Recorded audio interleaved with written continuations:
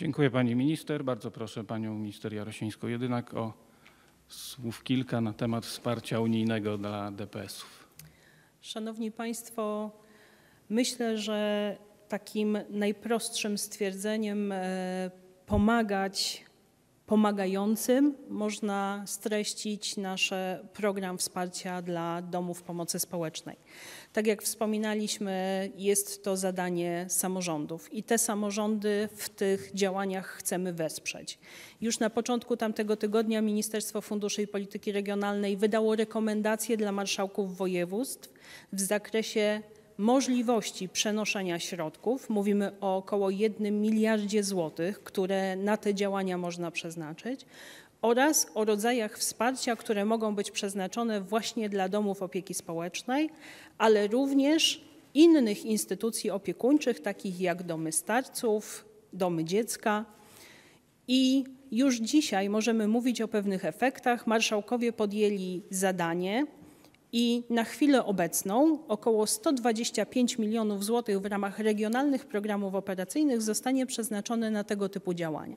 Te działania to przede wszystkim zakupy środków ochrony indywidualnej, to również dofinansowanie, dopłata do wynagrodzeń pracowników, którzy znajdują się w tych domach pomocy społecznej jak również innych instytucjach opiekuńczych, bo pamiętajmy, że nie tylko zdrowie osób przebywających w tych instytucjach jest dla nas bardzo ważne, ale również osób, bezpieczeństwo osób, które w tych instytucjach pracują.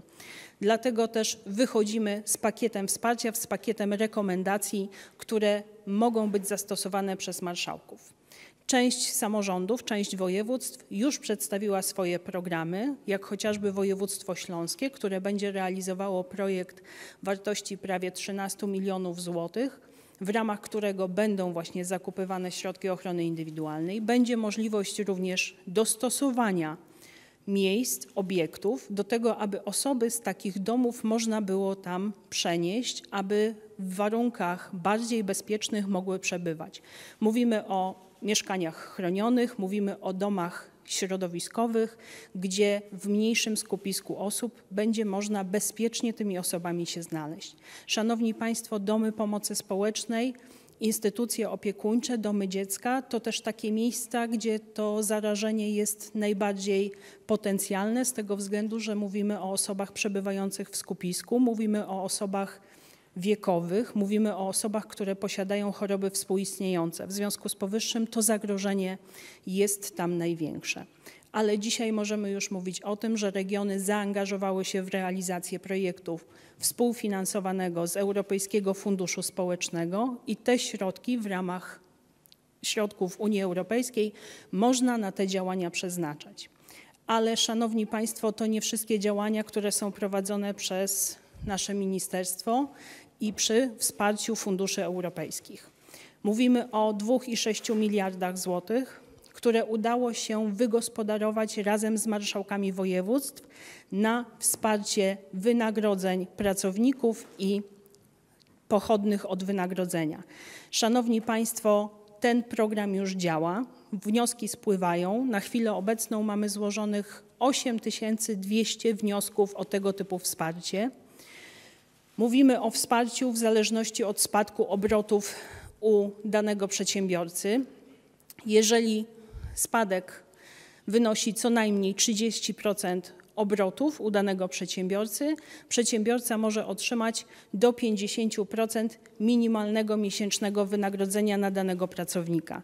Mówimy o wsparciu nie tylko tych przedsiębiorstw, które zatrudniają osoby, ale również osób samozatrudnionych, o organizacjach, fundacjach, stowarzyszeniach i mówimy, że lepiej zapobiegać jak leczyć. Więc Szanowni Państwo, również ze środków Europejskiego Funduszu Społecznego w ramach programu Wiedza, Edukacja, Rozwój oraz 16 regionalnych programów operacyjnych mówimy dzisiaj o możliwości wsparcia tego typu działań. Dziękuję. Dziękuję Pani Minister. Pani Minister Maląg w uzupełnieniu. Y, Szanowni Państwo, tarcza antykryzysowa, o której Pani Minister wspomniała, to właśnie ten wycinek europejskich środków, ale także budżet państwa. Tarcza antykryzysowa ruszyła 1 kwietnia y, 2020 roku i do chwili obecnej zostało złożonych w sumie na różne instrumenty wsparcia ponad 1 300 tysięcy wniosków. Te, te złożone wnioski to są konkretne osoby, konkretni przedsiębiorcy, który, którzy występują o wsparcie na miejsca pracy dla swoich pracowników. I kiedy na początku mówiliśmy o ilości złożonych wniosków, dzisiaj już możemy właśnie zameldować Państwu przede wszystkim wypłaty tych y, dofinansowań, bo to jest bardzo ważne, na ile miejsc pracy i jak te wypłaty są realizowane. Zależy na tym, nam na tym, aby przedsiębiorstwa zachowały swoją płynność, aby pracownicy na czas mogli uzyskiwać swoje wynagrodzenie, aby rodziny mogły w miarę normalnie żyć w tej innej, niecodziennej sytuacji. I do tej pory zostały wypłacone środki na y, około 1,5 miliarda złotych na ochronę około 250 tysięcy miejsc pracy. Również zostały wypłacone mikropożyczki, a wniosków na takie mikropożyczki w powiatowych urzędach pracy zostało złożonych ponad 125 tysięcy, ponad 45 tysięcy tych pożyczek już zostało zrealizowanych. A więc przede wszystkim Fundusz Gwarantowanych Świadczeń Pracowniczych, Fundusz Pracy, te środki są w pełnej gotowości. Urzędy, wojewódzkie urzędy pracy, powiatowe urzędy pracy realizują te zadania. To jest nowe wyzwanie. Przede wszystkim jesteśmy w nowej sytuacji, w pełnej mobilizacji, aby proste wnioski, które, które wypełniają przedsiębiorcy, były, były jak najwcześniej e, obrabiane po, przez te instytucje, również przez Zakład Ubezpieczeń Społecznych, który, y, który już ruszył pełną parą z wypłatą postojowego. Ta wypłata postojowego to już mamy około 180 milionów złotych, a więc widzimy, że pełne wsparcie dla pracodawców, pracowników, aby instrumenty tarczy y, funkcjonowały i tym potężnym wsparciem również są środki z Europejskiego Funduszu Społecznego po to, abyśmy przede wszystkim mogli analizować i ochronić miejsca pracy. Na tym nam zależy. Zależy nam na tym, aby zachowały się miejsca pracy i żeby po tym okresie kryzysu gospodarka mogła w miarę normalnie rozpocząć funkcjonowanie. Dziękuję bardzo.